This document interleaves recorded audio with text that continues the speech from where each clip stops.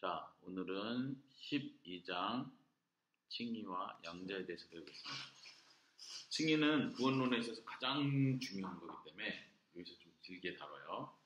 길게 다루니까 집중력을 놓치지 말고 끝까지 집중하시기 바랍니다. 칭의가 이해되면 이제 양자는 조금 조금의 분량으로 다루니까 칭의를 먼저 잘 이해해야 돼요. 자, 칭의에 대해서 먼저 그 논쟁, 역사적 논쟁까지 쭉 살펴볼 텐데 먼저 그 앞부분 서론 요거 읽어주세요. 하나님께서는 악한 자들 의롭다고 선언되는 순간에 실제로 불의한 상태에 있는 사람들을 의롭게 하신다. 이것은 우리의 직관에 입에대는 것처럼 보이지만 복음의 핵심이다. 성경은 믿음으로 하나님께로부터 난 의, 어, 은혜로 값없이 의롭다 하심을 얻는 자에 대해 말한다. 성경의 많은 본문은 우리의 죄와 그리스도의 의에 놀라운 교환에 대해 증거한다. 바울은 은행 업무, 옷, 입음, 법정의 유비를 통해 설명한다. 첫 번째 문장이 하나님께서는 악한 자들을 어떻게 한다? 의롭게 하신다. 그러니까 악한 자를 의롭게 하는 거예요. 의롭다고 선언하시고 의롭게 만들어 가시는 건데 이게 직관적으로는 모순처럼 보인다는 거죠. 그렇지만 복음의 핵심이다. 성경이 건데 그래서 역사적으로 교회 역사적으로 논쟁이 엄청 많았어요. 거기 표에 보면은 종교 개혁 논쟁 해가지고 종교 개혁자들의 입장이고 오른쪽에는 로마 카톨릭의 입장이죠. 이 표만 잘 이해해도 핵심을 잘 이해하는 건데 자 먼저 왼쪽 보세요. 칭의는 오직 법적인 선고이다. 법적인 의롭다라고 선언했다는 거예요. 근데 문제는 카톨릭의 입장에서 볼 때 아니 의롭지 않은 사람은 의롭다고 선언하는 거 말이 되냐 상식적으로 아까 첫, 문- 첫 문장이 그랬잖아요. 하나님께서는 악한 자를 의롭다고 하시는 거거든요. 그러니까 칭의 의롭다고 칭한다 이건데 악한 자를 의롭다고 법적으로 선언했어요. 근데 하나님이 진리이시고 공의로우시고 공평하신 법적이신 하나님이 의롭지 않은 자를 의롭다고 선언하면 돼야 안 돼요. 그건 하나님 자기 모순이라고 보는 거죠. 그러니까 로마 카톨릭은 그게 아니라 옆에 보면 도덕적 갱신의 과정이다. 칭이라는 말 자체가 도덕적으로 갱신해서 진짜로 하나님 나라에 갈 수준까지 의롭게 되었을 때 최종적 진짜 이제 넌 의롭다로 인정해 주는 거다. 이렇게 가는 거다. 이게 더 어, 합리적이고 논리적인 것 같은 생각이 드는 거죠. 다시 왼쪽에 실질적으로 불의할 때 오직 정가된 의로 선언한다. 그러니까 선언하는데 이게 하나님 자기 모순이 아닌 이유는 그리스도의 의가 정가되었기 때문에 그 정가된 의를 보시고 선언한다는. 근데 이제 로마 카톨릭의 입장은 아, 그거는 말이 안 된다. 왜냐면 아니 이 사람이 의로워야 의롭다고 하는 거지. 다른 사람이 의로운데 이- 다른 사람이 의로우니까 너가 의롭다 이렇게 말하는 건 이것도 모순이라고 보는 거고 나, 중에 나오지만 법적 허구라고 보는 거. 허구 말도 안 되는 말장난 이렇게 보는 거예요. 그래서 로마 카톨릭은 반대로 주입된 은혜와 협력함으로 얻어지는 선언이다. 이제 그 뚜껑 글씨 정가된 정가된 거는 은행 계좌로 이체되듯이 전달됐다는 뜻이고 음. 주입됐다는 건 마치 주사를 넣어서 음. 어, 링거 맞으면 링거 약이 쭉 음. 몸에 퍼지듯이 주입되는 뭐가 은혜가 그 주입된 은혜와 사람이 협력함으로 얻어지는 거라는 그러니까 결국은 인간의 공로가 빠질 수 없는 거예요. 그래서 왼쪽 다시 종교개혁자들은 그리스도가 유일한 공로의 기초가 되는 거고 로마 카톨릭은 우리도 사람도 협력하는 거다 다시 종교 개혁자들은 믿음은 오직 그리스도를 의지하는 것이다. 그러니까 받아들이는 개념으로서의 믿음이고 로마 카톨릭은 말 그대로 자기가 실천적으로 하는 어떤 것, 사랑으로 바뀌는 어떤 것이야. 내가 행 결국은 행동이죠.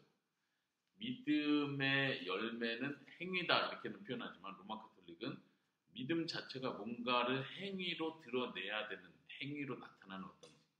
첫 번째는 믿음은 교회의 가르침에 동의하는 것이고 그 결과로 행동을 바뀌는 것. 다시 종교개혁자들은 지금 의롭게 됨을 확신할 수 있죠.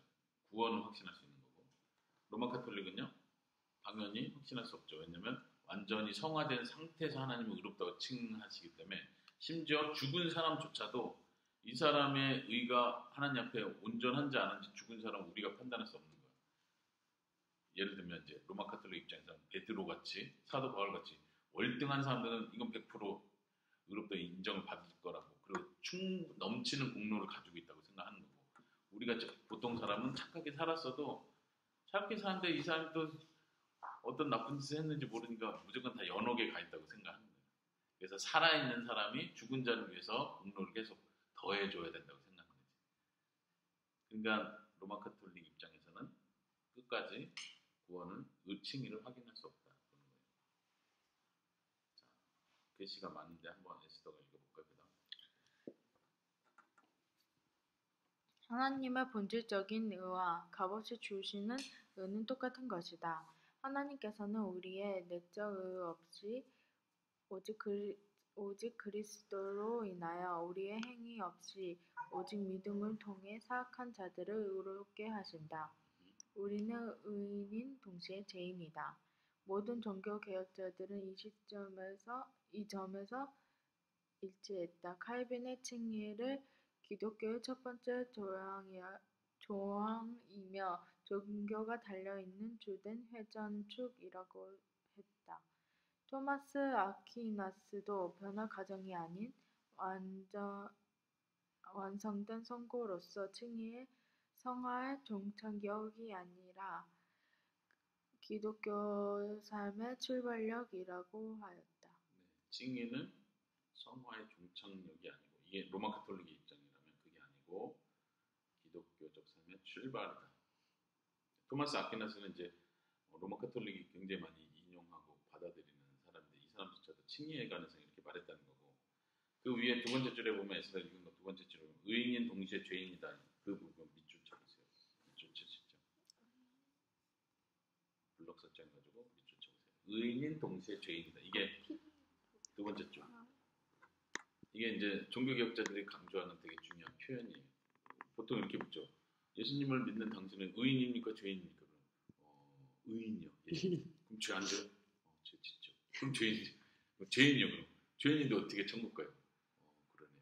근데 이렇게 누가 혹시 물어보면 저는 의인인 동시에 죄인입니다. 그러나 마지막 날 그리스도께서 오시면 죄의 본성을 제거하실 겁니다. 대답할 수 있겠죠. 우리가 의인인 이유는 우리가 착하게 살았기 때문이 아니라 그리스도의 의가 우리에게 전가돼서 의롭다 칭함을 받았기 때문에 의인인 거고 우리가 죄인인 이유는 여전히 죄의 본성을 가지고 이 땅에 살고 있기 때문에 죄와 싸우지만 여전히 그 죄의 본성이 내 속에 있기 때문에 죄인이라고 말하는 거예요. 그 두 가지를 잘 이해할 수 있겠죠. 자, 계속 어, 여보가 읽어주겠어요. 그러나 그러나 로마 카톨릭은 그리스도의 희생은 죄에 대한 형벌이 아니라 죄책감을 제거한다고 가르치며 칭의를 속 사람의 성화와 갱신이라고 가르친다. 그들에게 있어서 칭의는 실질적이며 내적으로 의롭게 되는 과정이다. 그들은 공식적으로 트리엔트 공의에 누구든지 죄인이 오직 믿음으로만 의롭게 된다고 말하면 그는 자는 저주를 받을지어다. 그 그 그 자는 그, 예, 말했지만 그 자는 저주를 받을지어다. 여기를 문자로 없애야 돼. 그다음, 누구든지 사람이 오직 그리스도의 의의 전가를 통해서 의롭게 된다고 말하면 그는 저주를 받을지어다. 네. 라고 거기서 선언했다. 그, 자, 그 자는 그는 저주를 받을지어다. 그러니까 지금 이거는 로마 카톨릭이 공식적으로 1545년에서 1563년에 있는 로마 카톨릭 공식 회의에서 이렇게 선언을 한 거예요. 그건 지금도 변하지 않는 거예요. 뭐 오직 믿음으로 의롭게 된다고 하는 자는 저주를 받을지어다. 이게 이제 소위 그 로마 카톨릭 음. 공교 스- 자기들이 말하는 Catholic이라는 건 공교회 범교회를 말하잖아요. 우리 거룩한 공교회를 믿는다 때그 공교회라고 할 때 Catholic church 말하는데 음. 어쨌든 로마 카톨릭은 공식적으로 출교할 때 쓰는 표현이야. 저주를 받을지어다. 이게 음. 출교한다. 교회에 속하지 않는다. 이런 표현인데 오직 믿음으로 의롭게 된다고 말하면 저주받는다. 그 다음에 그리스도 의의 전가를 통해서 의롭게 된다고 말하면 저주받는다. 음. 그러니까 로마 카톨릭하고 개신교는 같이 갈 수가 없는 거예요. 근데 오늘날은 이런 교리적인 거다 뒤엎고 어쨌든 우리가 예수님 믿으면 구원받는다고 고백하지 않느냐. 너도 그렇게 고백하고 우리도 예수님 때문에 구원받는다고 말하지 않. 그러니까 우리 형제다 이렇게 말하려고 그래요. 오늘날 신학은. 그러니까 이런 교리적 아주 중요한 부분을 그냥 다 통합할 수 있다고 생각하는 거죠. 오늘날까지는 로마 카톨릭은 이렇게 고수하고 있다. 그러나 웨스트민스터 신앙 고백서는 내가 읽을게 그 아래 로마 카톨릭 입장을 반대하면서 이렇게 말해요. 하나님은 의를 주입하심으로써가 아니라 방법을 말하는데 로마 카톨릭은 주입을 얘기한다 그랬죠. 근데 하나님은 그런 방법으로가 아니라 그들이 어떤 행위로 이- 행- 어떤 일로 인해서가 아니라 믿음 그 자체나 믿는 행위나 그들에 대한 어떤 다른 복음적 순종을 그들에 의해 전가하심으로써가 아니라 이 방법이 아니죠. 카톨릭은 다 반대하는 거예요. 순종을 통해서 하는 것도 아니고 믿음으로 말미암는 행위 자체를 통해서가 아니고 마지막 그리스도의 순종과 충족을 그들에게 전가함으로써 그러니까 주입과 전가를 지금 대조했죠. 그렇게 하신다. 의롭다고 하신다. 네. 마지막 칭의에 대한 양자간의 차이는 은혜에 대한 이해의 차이로 촉발된다. 로마 카톨릭은 은혜를 뭐라고 본다고 했어요? 주사 넣듯이 주입하는 거예요. 그건 세례 때 주입된다고 거예요. 그러니까 로마 카톨릭은 세례가 목숨 걸고 해야 되는 거예요. 음. 세례를 받을 때 은혜가 주입돼. 음. 주입된다는 건 은혜를 받기 때문에 이제 내가 어, 착한 일을 할 수 있는 능력이 생겼다는 거예요. 그 은혜가 내 속에서 일하는데 혼자서 은혜가 뭘 만들어내는 게 아니에요.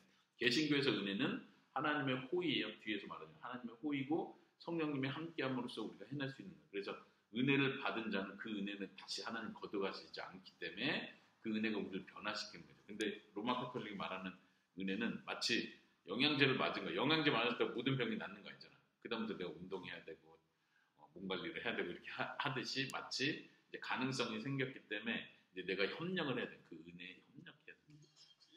은혜 개념이 다르기 때문에 이런 차이가 거야. 거기 밑줄 친 부분 보면 은혜는 세례 때 주입되어 본성을 고양시켜 초자연적인 것을 추구하게 하는 치료 물질 개념, 물질 개념으로 보는 거예요. 음. 그러니까 주입된다고 말하는 거죠. 완전 다른. 어,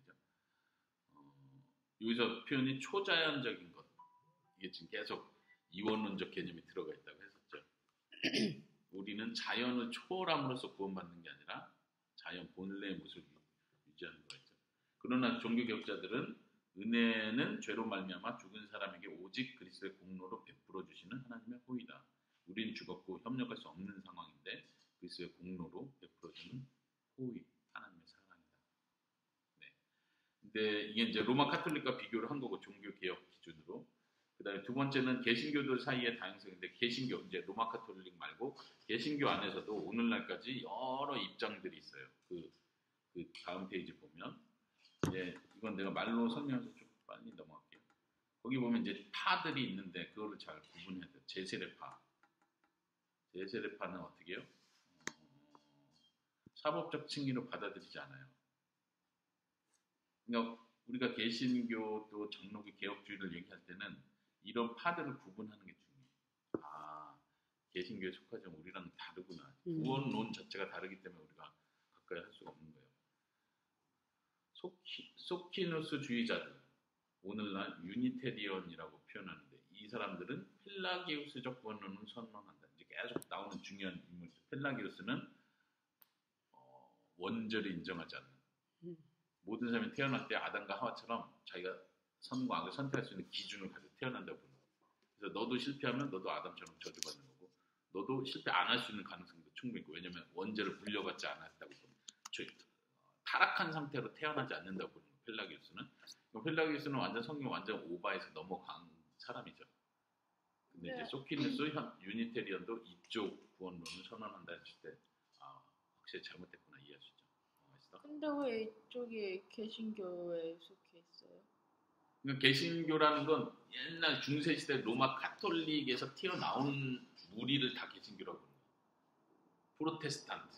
그러니까 로마 카톨릭과 프로테스트한 무리들을 다 개신교로 보는 거고 이제 우리는 우리가 말하는 개혁주의는 장로교죠. 칼빈을 중심으로 한 장로교 개념. 그리고 칸트도 사법적 칭의는 도덕적 해를 가져온다는 이유로 거부했다. 칸트는 뭐 크리스천은 아니죠. 근데 이제 칸트의 이런 철학들을 개신교에 많이 받아들인 거예요. 왜냐면 칭의받았다 하면 도덕적으로 해이해진다는 거지. 너 죄인인데도 의롭다고 해, 해줬다는 거야. 어, 그럼 나 죄짓고 살아야 되겠네. 이런 생각 때문에 이 교리 자체를 거부하려고 한다는 거예요. 고전적 알, 아르미니우스. 아르미니우스는 아까 펠라기우스에서 좀 더 발전해서 반펠라기우스. 어느 정도 타협점 같은 반펠라기우스 개념을 따르죠. 아르미니우스 주의는 그리스도의 속죄를 하나님의 공의를 충족시키는 것으로가 아닌 공의를 충족한다가 아닌 회개하는 죄인에게 구원을 제공하기 위한 기초로서 이해했다. 이말 이해해요? 음. 그러니까 우리가 믿는 건 그리스도가 속죄, 십자가에 죽으시고 피값을 치르시고 희생 제사를 지내심으로써 하나님의 죄에 대한 분노, 그- 그 공의를 형벌을 충분히 치르심으로써 형벌, 형벌을 받으심으로써 하나님의 공의가 충족되었다 이렇게 표현. 공의가 충족되었다는 말이죠. 이 사람의 죄는 10년 감옥에서 살아야 될 죄라고 시- 재판관이 선언을 했으면 이건 공이야. 그럼 이걸 충족하려면 10년 실제로 채워야 충족되는 거죠. 하나님이 인간에게 내린 형벌에 대해서 예수님의 죽으심이 그걸 충족했다는 거예요. 형벌을 충분히 충족했는데 그렇게 이해하지 않고 아르미니우스주의는 회개하는 죄인에게 구원을 제공하기 위한 기초 정도. 예수님 믿으면 구원받을 수 있게 된다. 이 정도로 이해한다는 거예요. 이거는 이제 어, 존 웨슬리. 존 웨슬리는 감리교의 창시자라고 할 수 있어요. 감리교. 우리는 존 웨슬리도 아르미니우스주의하고 좀 같은 맥락을 가지고 있어요. 근데 존 웨슬리는 이제 마이클 호튼 평가는 복음주의적 아르미니우스주의로 좀 더 긍정적으로 보는 거예요. 그들은 은혜로 말미암는 칭의를 가르쳤음에도 불구하고 거기 교정이 있죠. 가르쳤음에도 불구하고 때때로 칭의를 개인의 성화에 종속시켰다. 그래서 복음주의적이라고 생각했는데 이거를 자꾸 성화하고 자꾸 연결시켜서 생각하므로 성화가 이루어져야 결국 칭의 받는 자꾸 로마 카톨릭 색깔을 띈다는 거죠. 근데 그걸 구분해야 돼요. 근데 이제 더 펠라기우스적인 아르미니우스 주의자. 그러니까 아르미니우스 주의자를 두 개로 나눠서 하나는 복음주의적, 하나는 더 펠라기우스적. 그러니까 감리교는 그래도 좀 복음적이라고 본 거고 어, 예를 들면 거기 찰스 피니 같은 사람을 더 펠라기우스 주의적이라고 본 건데 찰스 피니는 뭐로 유명한 사람이냐면 미국의 부흥 운동가로 유명한 사람이에요. 20세기 부흥 운동. 그래서 어, 은사주의하고도 연결되지만 미국에 한참 부흥이 일어났을 때 찰스 피니가 부흥을 논 그래서 우리가 부흥을 얘기할 때 찰스 피니의 부흥론을 분별하는 걸 자꾸 얘기해요. 찰스 피니는 주된 어, 이론이 뭐냐면 우리가 하나님이 요구하는 조건들을 충족하면 반드시 부흥은 온다. 이렇게 보는 거예요. 그게 뭐예요? 회개하는 거, 말씀에 충실하는 거, 그리고 말씀대로 사는 거, 우리가 살려고 노력하고 철저히 회개하고 말씀 충분히 배우고 우리가 기도하고 충분한 기도하고 이렇게 하면 하나님 왜 부흥을 안 주시겠냐? 된다. 조건을 충족하면 반드시 부흥이 온다. 이- 이게 차스 피니의 부흥론인데 우리가 경계해야 되는 거예요. 굉장히 비슷한 것 같은데 왜냐하면 피니의 철학이 그 기독교 철학이 달라요. 우리랑 그 뒤에 보세요. 피니는 말하는 그리스도의 의의 정가를 부인할 뿐 아니라 정가 개념을 부인하고 거듭남을 순종의 결과로 이해해요. 거듭남과 믿음. 그러니까 우리가 믿는 행동을 함으로써 순종으로 회개하고 믿음으로써 그 다음 결과로 거듭남 준다고 보는 거예요. 근데 우리가 믿는 건. 하나님이 은혜로 죄인에게 마음을 바꾸셔요. 이거는 우리가 보이지 않는 거예요. 그 바꿔진 사람들이 복음을 듣게 되고 믿게 되고 회개하는 시- 통회하는 심정이 생기는 거죠. 이게 바뀌었기 때문에 결국은 사람의 노력을 강조하는 거예요. 그 뒤에 보세요. 피니는 완전한 현재 순종이 칭의의 조건이다. 라고 가르칩니다. 부흥 개념하고 비슷하죠. 철저한 헌신 이런 걸 강조합니다. 완전한 순종을 해야 칭의를 받을 수 있다. 그럼 누가 완전하게 순종할 수 있어요? 또 어떤 사람도 죄 가운데 있는 동안 조금이라도 죄가 그 안에 남아 있는 동안은 의롭게 될 수 없다. 그럼 누가 의롭게 돼요? 로마 캐톨릭과 같이 가는 거예요. 죽을 때 가서 하나님 앞에 의가 인정, 성화가 인정받으면 그때 칭의 받겠지. 이렇게 가는 거죠. 그러니까 신학적으로 굉장히 잘못됐어요. 불안해요. 근데 근데 어쨌든 미국에서는 찰스핀 책이 엄청 읽혀요. 음. 지금도. 그러니까 이 개념이 무서운 거죠. 그럼 어 체스피니의 이론은 뭐지? 지금 카톨릭이랑 뭐가 다른 거예요? 비슷해 보이는데. 그렇죠. 그래서 이제 더 펠라기우스 적 아르미니스주의라고 말하는 카톨릭은 거의 이 부분에서는 거의 비슷하게 가는. 근데 이제 카톨릭은 뭐가 있냐면 예를 들면 고해 성사 개념이 있고 연옥 개념이 있고 공로 개념이 있고 이, 런 것들이 다 있지. 근데 이제 그런 거는 싹 치웠지. 개, 개신교니까. 근데 이제 이 칭의반 칭의와 성화의 관계를 그렇게 묶어버린 거죠. 이제 그 3번의 근대와 현대 신학에서의 칭의 여기서도 이제 결국은 그 패턴으로 가는 거예요. 로마 카톨릭은 결별하고 종교 개혁을 했다고는 나왔는데 결국은 에스더 말대로 오늘날 현대 개신교 신학이라고 하는 것들이 로마 카톨릭에서 핵심적으로 말했던 칭의와 성화 개념을 섞어버리는 거예요. 다시 말하면 음. 성화해야 칭의받는 게 당연하지. 처음 시작에서 그랬잖아요. 하나님이 죄인을 의롭다고 했는데 우린 그게 이해가 안 돼. 아니, 말이 안 되지. 그럼 이 사람들 다 죄인이고 나는 그래도 착하게 살려고 했는데 저기 나쁘게 사는 그 죄인도 하나님 의롭다고 말이 돼? 억울한 거지. 그래도 착하게 살려고 한 사람, 그래도 믿으려고 한 사람, 그래도 눈물 흘리며 회개하고 노력한 그 사람이 그래도 하나님 앞에 의롭다고 인정을 받아야지 하나님이 죄인을 의롭다고 말하면 말이 돼요. 근데 로마서 성경은 그걸 말하는 거예요. 의롭지 않은 자를 의롭다 하시는 그분을 믿는 거. 이걸 믿음이라고 합니다. 예, 근현대 신학에서 칭의도 보세요. 개신교 자유주의, 특히 슈라이마허 리츠. 네스더는 다 낯선 전문 용어 많이 나오는데 사람들 이름이에요. 슈라이마허와 리츠는 어, 현대 신학의 아주 핵심적인 인물이라고 생각하면 되고 나중에 또 계속 듣게 되면 이름이 익숙해질 수 있어요. 칭의 개념 완전히 버려요. 그들은 애초에 하나님께서 사람에게 적대적이지 않다고 말해요. 이건 거의 기독교 신앙하고 멀어진 거예요. 자유주의 신학이라고 할 때 신앙에서 자유주의는 나쁜 거라고 돼요. 단지 사람 편에서 하나님으로부터의 소외되었다는 주관적 감정을 극복하는 일뿐이라고 이라고 생각한다. 마치 이거는 오늘날 심리학하고 비슷한 거예요. 너가 이렇게 지금 괴롭고 힘든 이유는 너가 너 자신에 대해서 부정적인 생각을 가지고 있어서 그래. 이거 긍정적인 생각을 주관적 감정의 문제를 보는 거예요. 내가 나를 바라고. 하나님이 나를 미워하고 이런 개념 없어. 하나님 처음부터 끝까지 나 그냥 사랑해. 이게 문제죠. 예를 들면 조엘 로스틴 개념도 그런 개념이에요. 죄의 문제 다루지 않아. 그냥 하나님은 계속 우리에게 좋은 걸 주려고 하는데 내가 나에 대해서 부정적인 생각을 가지니까 아침에 일어날 때마다 거울 보고 나는 하나님께 사랑받은 사람이다. 계속 주문을 외우라는 거야. 그러다 보면 기분이 좋아지니까. 그리고 어차피 하나님 날 사랑했으니까 이렇게 보는 거죠. 조엘 로스틴 개념도 나는 그렇다고 봐요. 음. 야, 감정 문제로 본다. 이거 현대 신학은. 그다음에 칼바르트는 좀 어려운데 그 한 단락인데 약간 칼바르트는 우리가 쉽게 판단하기 힘든 사람이에요. 굉장히 천재적 신학자이기 때문에. 근데 여기도 한번 읽어볼게요. 칼바르트는 자유주의에 반대하여 하나님의 진노 개념을 인정했다. 그러니까 위에서 자유주의가 이런 개념을 하나님의 진노 개념 거부하니까 칼바르트는 그것과 싸운 거예요. 자유주의와. 음. 그렇기 때문에 어느 정도 지켰어요. 그래서 칼바르트를 신전 정통주의 이렇게 말해요. 자유주의와 반대해서 싸운 전통파인데 음. 새로운 전통이야. 그래서 약간 우- 우리하고는 달라요. 근데 뒤에 문제를 지적한데 그러나 그는 구원의 사정의 다양한 요소들이 동시적이며 가로하고 역사와 시간 속에서 일어나는 것이 아닌 영원한 선택의 역사 속에서 이루어진 것으로 각 사람이 매 순간 믿고 순종할 때 계속, 계속해서 새롭게 된다고 보았다.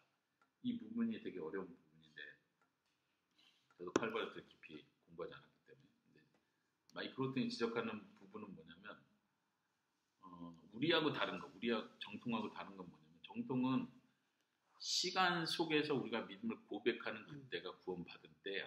시간 속에서. 근데 칼바르트는 그거는 중요하지 않고 음. 영원한 그 창조가 시작돼 그 전에 이미 하나님을 선택했다고 그러잖아요. 선택하는 순간 칭의하시고 뭐 하시고 다 하셨다는 거야. 그러니까 이 역사는 그냥 흘러가는 것 뿐이야. 의미가 없는 거야. 시간은 한상인가? 어, 그렇게 보는 거지. 역사 속에서 이미 다 이루어진 거고 하나님께서 시간 속에서 만나준 건 여기서 말하는 것처럼 그때그때 새롭게 우리를 해준다는 거예요. 그래서 칼바르트 신화에서 아주 중요한 것 중에 하나는 성경은 하나님의 말씀이다가 아니고 말씀이 된다라고 표현해요. 그러니까 66권이 좋은 말이 많고 하나님의 말이 많지만 그게 시간 속에 딱 나에게 감동으로 오는 그 순간 그게 하나님의 말씀이 된다고 표현하는 거예요. 오늘날 신학들이 그러잖아요. 묵상하다가 아, 하나님께서 나에게 말씀하셨 성경을 통해 말씀하셨다. 설마 그러면서 내만 아니야. 레이먼. 내만. 자, 더 결과적으로 칭의를 받기 위한 믿음의 필요성은 거부되었다.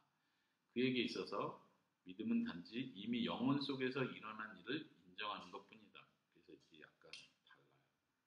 그 다음에 이제 근대 현대 신앙에서 중요한 사람들이 바울의 세 관점 학파들인데 이제 에스더가 하기엔 너무 지금 오늘 엄청 어려운 걸 많이 하는데도 간단하게 설명하면 이제 계속 에스더가 나중에 커갈수록 듣게 될 말이니까 아, 들었던 것 같아 이렇게 기억만 해도 좋아요. 영어로 하면 New Perspective on the Paul 바울에 대한 세 관점이에요. 이 학파들은 뭘 얘기하냐면 기본적으로 쉽게 설명을 하면 어, 하나님의 은혜로 의롭게 되었, 다 그러니까 뭐 다른 거 아무것도 없어. 그냥 이스라엘 백성이 예수님 때문에 의롭게 된 거 아니잖아. 이스라엘 백성이 하나님의 은혜로 하나님의 백성이 되었잖아. 그러니까 의롭다는 표현을 쓰지 않고 백성이 되었다. 근데 그 백성을 유지하기 위해선 자기의 거룩한 삶을 살아야 된다. 이 구약에 보면 뭐 하지 않으면 백성에서 끊긴다, 끊긴다 이런 표현 하잖아. 옛날 이스라엘처럼. 그 옛날 이스라엘을 얘기하는 거예요. 구약이 그, 그 구약 관점을 그대로 가져오는 거예요. 이스라엘 백성들이 하나님의 은혜로 선택을 받고 하나님의 백성을 부름 받는 게 다 은혜인 것처럼 오늘날 신자들도 하나님의 선택을 받고 부름을 받아 다 이 교회의 공동체 부름 받은 거예요. 중요한 건 뭐냐면 하나님의 법을 지키고 거룩한 삶을 살아갈 때 백성으로 유지되는 유지 개념을 강조하는 거예요. 그러니까 하나님 백성이 되었는데 그걸 유지하기 위해선 순종의 삶을 계속 사는 거다. 성화의 삶. 그러니까 칭의와 성화 개념을 구분하지 않고 그냥 묶어버는 거예요. 그러니까 칭의 개념은 없는 거예요. 성화의 삶을 살면 그대로 하나님 백성을 유지돼서 천국까지 가는 거고. 근데 어쨌든 선택받고 은혜를 받았는데 여기서 내가 믿음 안 지키고 거룩한 삶 안 살면 당연히 떨어져 나가는 거예요. 그게 더 논리적이고 자연스러운 거예요. 바울의 세 관점의 핵심이 그런 건데 읽어볼게요. 공통적으로 의의 정가 개념을 부인해요. 이 의의 정가라는 개념은 종교계에서 굉장히 강조했던 아주 특별한 구절이고 이따가 보겠지만 성경에서 거예요. 또 역사 신학과 초기파 신학의 흐름은 루터와 칼빈을 재해석하며 이들의 사상을 동방 정교나 로마 카톨릭의 입장과 더 가까이 해석하려고 한다. 그러니까 카톨릭이나 동방 정교하고 개념이 비슷해요. 바울 세 관점은. 다양한 유형의 신학들은 칭의의 개념이 개인의 도덕적 책임과 사회 변혁을 억제하는 것이라고 이를 봅니다. 그러니까 칭의 개념은 우리가 믿음으로 이게 정관돼서 이렇게 되는 이 개념을 이해 안 하고 그냥 우리가 이제 하나의 백성으로서 도덕적 책임, 사회 변혁을 위해서 하는 것 이런 공동체적인 걸 자꾸 강조를 해요. 그러니까 오늘날 이제 바울의 세 관점이 관심을 받고 막 이렇게 높아지는 이유가 한국 교회가 지금 분위기가 교회는 엄청 많아졌는데 해이한 도덕적으로 해이한 한국 교회가 돼버리니까 스캔들도 많고 욕 먹는 일도 많고 하니까 아 이거 복음이 잘못됐다. 바울의 세 관점이 말하는 건 우리가 이 공공신학 그러니까 사회를 돌아보고 정말 도덕적으로 변화된 삶을 사는 여기에 초점을 안 뒀기 때문에 교회가 욕을 먹는 거다. 그래서 음, 복음 자체를 바꾸려고 하는 거예요. 신임만 얘기하니까 아까 칸트가 말한 것처럼 도덕적으로 해이해진다.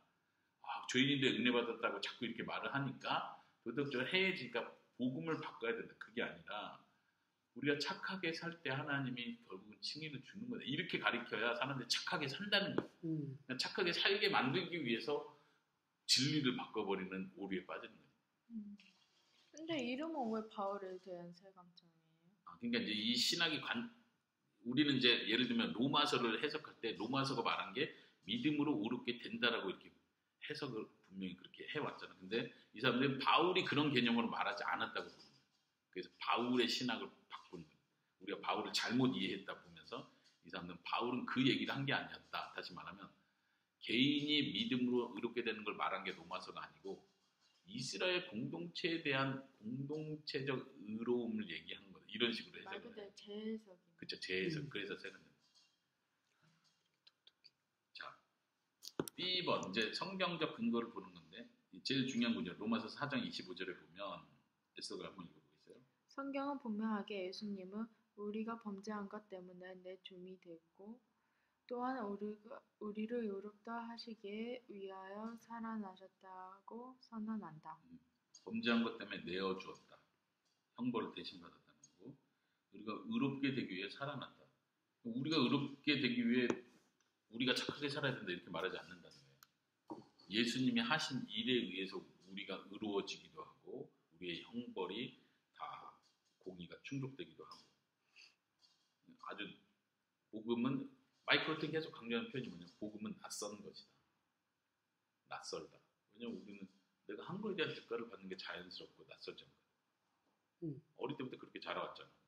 잘하면 칭찬받고 못하면 혼나고 잘하면 합격하고 못하면 불합격하고 근데 천국은 너 그것과 상관없이 하나님의 은혜로 천국 가는 거야 이렇게 하니까 말이 돼?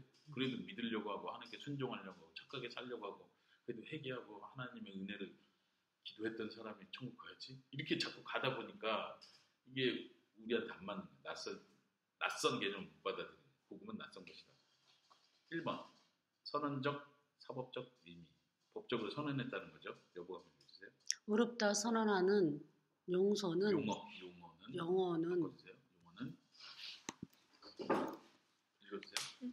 의롭다. 선언하는 용어는 사법적인 용어로 법정에서 무죄로 선언되다는 된다. 된다예요, 되다예요. 선언되다. 는 뜻이다. 그러나 이 단어는 라틴어 불가타역에서 의롭다 만들, 만들다로 잘못 번역되었다. 의롭다 선언하는 것은 가정이 아니라 선언임을 강조하며 법적인 요구가 완전히 충족되었다는 것을 규정한다. 칭의의 반대는 정죄인데 이 또한 법적인 개념이다. 네, 성경에 나오는 의롭다는 개념이 법적인 용어라는 거예요. 근데 오늘날은 어, 구원이 꼭 법적으로만 이해할 필요 없다 이렇게 자꾸 보는 거예요. 그리고 이제 어떤 사람들은 종교개혁을 비판하는 사람들은 아, 칼빈도 법을 공부하던 사람이고 그래가지고 자꾸 법적인 용어로 구원을 이해하려고 한다. 칼빈이 나쁘다 이렇게 가는 거야.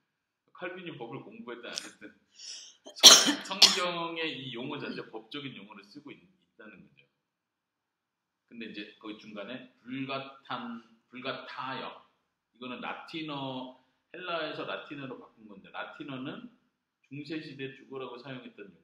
그러니까 소위 미사도 라틴어로만 했다고 하잖아요. 왜냐면 이건 거룩한 용어다. 그리고 불가탄 역 성경 그러니까 헬라에서 불가탄 역으로 번역한 이 성경이 거룩한 성경이다. 이거 외에 다른 영어 이런 뭐 미개 민족의 영어로 번역한 사람을 막 죽이기도 하고 그랬잖아요.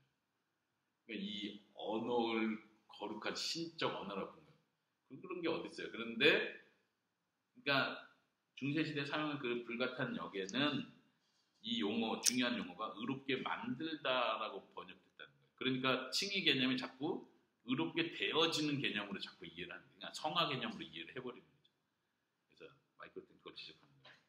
그래서 이거는 과정이 아니라 단번에 이루어진 선언, 의롭다 하고 선언된 거지 과정이 아니다. 칭의 반대는 정죄인데 정죄도 단번에 선언되는 거죠. 점점 나빠진다가 아니라 악하다고 선언하는 것처럼요. 하나님의 의 에스더가 한번. 하나님의 은은 전적으로 하나님의 도덕적 성품과 동일한 것으로 모든 사람을 정죄한다.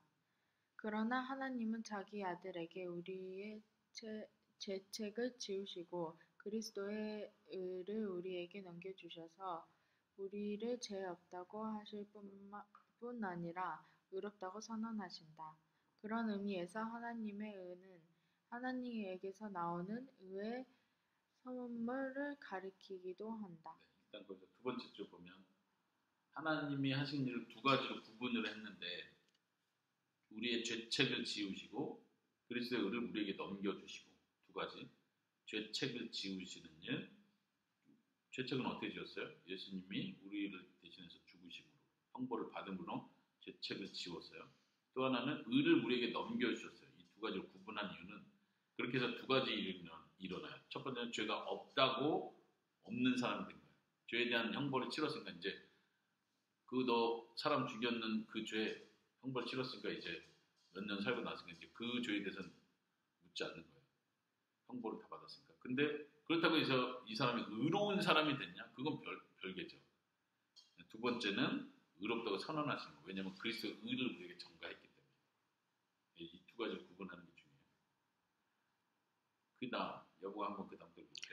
중세 신학자들은 을을 투쟁으로 얻을 수 있는 것으로 이해하며 우리의 영혼에 주입된 윤회와 협력하여 최선을 다할 때에 그것은 타당한 공로에는 미치지 못하지만 하나님께서는 적합한 공로로 받아주신다고 가르쳤다. 네, 중세시대 그냥 로마 카톨릭을 얘기하는 건데 아까 주입된 은혜 얘기했죠. 주입된 은혜에 협력을 할 때 공로로 인정해 주는데 이제 중세 신학에서는 이거를 따진 아까 현대 신학자들이 카톨릭 많이 따라간다 했잖아요. 근데 카톨릭은 또 이 구원론이 엄청 복잡해요. 공로 사상에 있어서 주입된 은혜 그 다음에 공로가 두 가지인데 타당한 공로가 있고 적합한 공로가 있어요. 근데 타당한 공로를 내가 얻으면 이건 100% 그냥 의롭다 되는 거예요. 베드로처럼. 근데 적합한 공로는 그냥 우리 보통 사람들이 열심히 노력했을 때 구원받을 만한 정도의 수준은 아니지만 이 적합한 공로는 하나님이 보시고 아 그래 노력했구나 하고 어여삐 여겨주시는 공로가 됩니다. 그래서 구원받을 수 있게 된다는 얘기죠. 그러니까 로마 카톨릭한테 당신들은 예수님만 믿음으로 구원받는다고 말 안 하고 사람이 협력해서 공로로 구원받는다고 하잖아요. 아니라고. 우리는 공로로 구원받는 게 아니라고. 우리의 공로는 하나님 볼 때 부족한 거라. 그렇지 하나님 은혜로 그걸 공로로 여겨주시는 거예요. 이거 뭐 예수님과 비슷한 말 하는 것 같아. 그러니까 로마 같은 천주교 사람들하고 얘기를 하면 이 사람들도 똑같이 예수님 믿고 구원받는다고 얘기하는데요. 이렇게 비슷하게 가는 거예요. 음. 그렇지만 종교개혁자는 그 아래 그리스도께서 언약의 대표자로서의 율법의 모든 요구를 우리를 위해 성취했다. 그냥 결국은 모든 요구를 한 번에 예수님이 다 끝냈다는 것 그게 차이예요. 믿는 자에게 낯선 그리스도의 낯선 의가 전가된다. 낯선 의라는 건 내 안에 있던 어떤 것이 아니고 내 밖에 있는 외부의 의라는 표현을 쓰거든요. 외부, 바깥. 낯선 의가 우리에게 전가되었다는 걸 강조하는 거예요. 그 아래 보면 이것은 법적인 허구가 아니다. 비판하는 사람들은 계속 이렇게 비판한다 했죠. 너 게 아닌데 왜 너가 의로워져? 믿음으로 의롭게 된 자들은 실제로 그리스도 안에서 새로운 신분과 생명을 얻게 된다. 성경이 이것을 사법적 언어뿐 아니라 몸과 머리, 머리와 몸, 나무와 열매, 은행 업무의 유비로서 설명한다. 은행 업무의 유비라는 유비를 우리가 오늘날 우리가 적용하기 쉬운데 보세요. 어, 예를 들면 예를 들면 귀하 허가를 받는데 6천만 원이 필요해요. 그렇죠? 근데 정부에서 이민국에서 통장을 확인해요. 근데 난 돈이 없어. 그러면 자격이 안 되는 거잖아요. 근데 사랑하는 친구가 나한테 6천만 원 꺼줬어. 꺼준 게 아니라 그냥 줬어.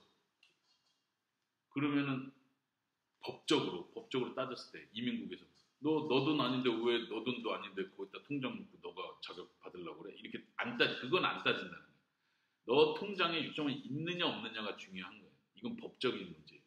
그러니까 이 통장을 누가 넣어줬느냐, 얼마를 어디서 끌어왔느냐는 법적으로 따지는 게 아니에요. 이게 너 통장에 너 이름으로 너의 돈으로서 그 돈이 있느냐로 확인하는 거예요. 이게 이제 법, 은행 업무의 유비가 오늘날에도 잘 이해되는 개념이에요. 아까 말한 것처럼 너가 의롭지 않은데 왜 너가 의롭다고 받아? 넌 죄인인데 이렇게 가지 않는다. 이건 전가 개념은 그런 의미입니다. 자 마지막 전가된 의 제가 읽겠습니다. 언약의 머리인 아담 안에서 죄책이 우리에게 전가된 것처럼 그리스도 안에서 우리의 의가 그분의 의가 우리에게 전가된다. 그러니까 더블. 더블이라. 예수님의 의가 우리에게 온 것처럼 우리의 죄가 예수님에게 전가된 거예요. 음. 정가하다는 동사는 모모로 여기다는 의미다. 이사야서 53장 우리의 죄가 그에게 돌려졌으며 그의 의는 우리에게 넘겨졌음을 표현한다. 나의 의로운 종이 자기 지식으로 많은 사람을 의롭게 하며 또 그들의 죄악을 친히 담당하리로다. 의로운 종이 다른 사람을 의롭게 하고 그 사람들의 죄악을 예수님이 담당하고 이 개념이 이사야서에서부터 나온다. 성경적 근거를 살펴본 거예요. 이 전가 개념의 칭의를 성경이 분명히 말하기 때문에 우리는 이걸 우리의 논리적 이해 되고 안 되고로 우리가 복음 바꿔서는 안 된다는 거예요. 자, 그 다음에 마지막 양자는 짧, 짧게 있죠. 그러니까 양자 개념도 중요한 거는 칭의가 법적인 일인 것처럼 양자도 법적인 일이라는 거예요. 쭉 읽어봅시다. 여보가. 양자는 칭의에서 성화로의 훌륭한 전환인데 이는 양자가 사부적이며 병역적인 가 차원으로 이루어져 있기 때문이다. 음. 이스라엘뿐만 아니라 고대 사회의 법은 장자를 재산의 상속자로 삼았다. 우리가 하나님의 아들들이 된다는 것은 우리의 장자인 그리스도와 함께 공동 상속자가 된다는 법적인 의미이다. 하나님이 그 아들을 보내사 여자에게서 나게 하시고 율법 아래, 아래에 나게 하신 것은 율법 아래에 있는 자들을 속량하시고 우리로 아들의 명분을 얻게 하려 하심이라. 너희가 아들이므로 아들이, 아들이면 하나님으로 말미암아 유업을 받을 자니라. 아들이 된다는 거, 양자가 된다는 건 상속자가 거의 중간에 공동 상속자. 이건 성경에 나오는 표현이에요. 공동 상속자 된다는 의미입니다. 왜냐하면 하나 우리가 직접 하나님 제가 믿고 구원 받았으니까 이제 하나님의 모든 복을 우리에게 주세요. 하나님의 기업을 우리에게 주세요라고 요구할 수 있는 자격이 안 돼요. 예수님이 얻으신 걸 우리가 예수님과 함께 공동 상속자가 되는 그런 의미에서 양자로 삼습니다. 예수님이 얻으신 거 이미 음. 모든 의를 충족함으로써 얻으신 그 모든 기업 혹은 우리말로 축복, 복이라고 생각하면 돼요. 하나님의 모든 영적인 모든 복을 예수님이 얻으셨는데 우리가 예수님과 연합하고 하나가 되고 함께 아들, 형제가 됨으로써 예수님. 말, 말하자면 장자가 맏형이 아버지로부터 모든 유산을 받고 뭐 너네 안 줘 이렇게 하면 아들이 큰 형이 다 나눠주는 그 개념을 성경은 설명한다는 거예요. 자 이스터 그다음 달랑 보세요. 칭의에서와 마찬가지로 양자는 법적 허구가 아니다. 그리스도는 장자로서 왕이 되어 자신의 충성된 섬김으로 전 재산을 얻으신 후에 이것을 언약 안에서 아들들이 모, 아들이 된 모든 자녀에게 나눠 주신다. 음, 만약 은혜 언약에서 그리스도와 연합이 바울의 구성 서정을 위한 기초라면 칭의는 우리와 우리의 양자와 성화와 영화를 위한 법적 기초이다. 거기까지 잠깐 다시 보세요. 인용이 좀 어려운 표현이 있어서 그대로 인용한 건데 어, 그리스도와의 연합이 구원을 위한 기초라면 구원의 서정을 위한 기초라면 칭의는 양자와 성화와 영화 영화는 이제 하나님 나라 온전히 들어가게 되는 그걸 영화라고 해요. 그거를 위한 법적인 기초다. 칭의가 있어야 양자가 되는 거고 성화가 시작되는 거고 영화를 얻게 되는 거고 그런 기초라는 거죠. 양자는 성공적으로 부모를 모방하는 자녀에게 제시된 목표가 아니다. 아, 내가 하나님의 아들이 되는 건 목표가 아니에요. 성화해야 아들이 된다가 아니라 이미 아들이라고 법적으로 딱 선언했다는 거죠. 목표가 아니에요. 그 다음에 가족의 성품이나 유전자를 주입한 결과도 아니에요. 주입 개념이. 아들이 됐다고 해서 이제 너가 아들처럼 살게 되는 뭐가 네, 유전자가 변화된 게 아니라는 거예요. 그러니까 법적으로 선언했을 뿐이에요. 오히려 양자는 법적인 신분의 변화이다. 신분적으로 내가 예를 들면 부잣집 아들로 양자로 법적인 선언됐다고 해서 내가 갑자기 부잣집 아이의 유전자가 생기는 건 아니잖아요. 갑자기 착하게 사, 살게 되는 것도 아니고 어? 무슨 말인지 알죠? 하나님의 자녀가 되는 것도 마찬가지예요. 법적인 선언이지 내가 그러나 아까 앞에서 말한 것은 그러나 성화의 기초가 되는 거예요. 법적인 선언이 되었기 때문에 실제로 이제는 그 뒤에 나오는 문장이 그거예요. 실제로 성령이 내 안에서 역사하기 때문에 이제 죄와 싸우기 시작하고 성화의 삶을 살게 되어 있다는 거죠.